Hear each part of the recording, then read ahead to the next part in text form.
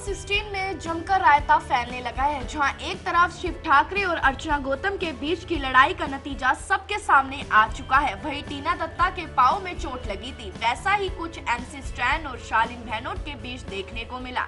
ऐसे में शालीन टीना के पाव देखने लगा कि तभी बीच में एमसी भी आ गए।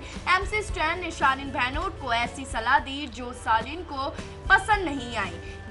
ऐसे में एमसी ने शालीन को गाली दे दी। वही सोमबुल शालीन की साइड लेते हुए कहते नज़र आए, शालीन अपने आपा खो बैठे हैं और एमसी स्टैंड पर जमकर बरसे ऐसे में सभी घर वाले उनके बीच बचाव करने लगे।